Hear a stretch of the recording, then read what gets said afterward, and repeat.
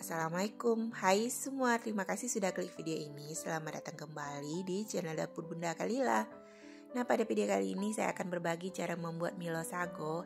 Itu dessert yang enak banget, nyoklat Milonya terasa. Ini cocok kita sajikan untuk anak-anak. Oke simak videonya sampai selesai dan jangan lupa berikan like, komen, dan subscribe. Terima kasih.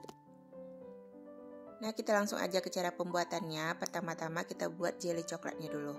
Di sini saya pakai satu saset Nutrijel rasa coklat, lalu tambahkan 2 atau 3 sendok makan gula pasir, tambahkan satu saset Milo, lalu tambahkan 750 ml air atau 3 gelas ya mom. Kemudian ini kita aduk rata dulu.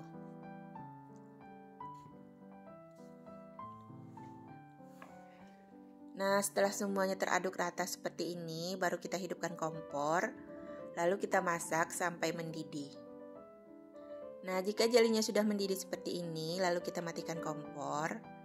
Kemudian ini kita biarkan sebentar, lalu kita tuang ke dalam cetakan. Kemudian ini kita diamkan sampai kering seperti ini. Setelah itu baru kita potong-potong. Nah, ini kita potong kotak-kotak ya, Mom. Nah, setelah semua selesai dipotong, ini kita sisihkan dulu. Lanjut kita rebus sagu mutiaranya. Ini kita siapkan air yang mendidih seperti ini. Yang banyak ya mom agar nanti sagu mutiaranya tidak bergumpal. Lalu kita masukkan sagu mutiaranya. Kemudian di sini saya tambahkan sedikit pewarna hitam, pewarna makanan. Lalu ini kita aduk dan ini kita tutup. Kita masak selama 8 menit dengan api besar. Nah, setelah 8 menit ini kita aduk lagi. Kemudian setelah dipastikan tidak ada yang menempel di dasar panci, ini kita tutup dan kita matikan kompor. Lalu ini kita biarkan selama 20 menit.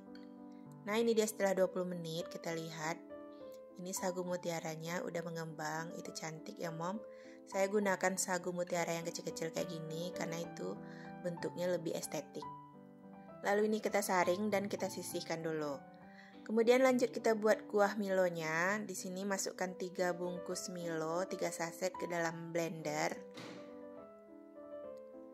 Kemudian tambahkan setengah kaleng susu evaporasi. Lalu tambahkan kental manis secukupnya. Untuk kental manis ini bisa disesuaikan dengan selera ya mom, tingkat kemanisannya. Lalu tambahkan keju parut. Kemudian tambahkan setengah gelas air. Lalu ini kita blend sampai rata. Nah, seperti ini hasilnya dan ini kita sisihkan dulu. Kemudian kita siapkan mangkok yang agak besar seperti ini. Lalu kita masukkan agar-agar jeli coklatnya. Kemudian tambahkan sagu mutiara. Tambahkan nata de coco. Di sini sudah saya saring ya, Mom. Lalu kita siram dengan kuah milonya tadi. Kemudian ini kita aduk. Dan ini Milo sagonya sudah jadi, tinggal kita tabur dengan keju parut di atasnya. Ini tuh creamy dan enak banget mom, ini anak-anak pasti suka. Oke mom, itu tadi cara membuat Milo sago ala Bunda Kalila. Terima kasih sudah menonton, see you in next video. Assalamualaikum warahmatullahi wabarakatuh.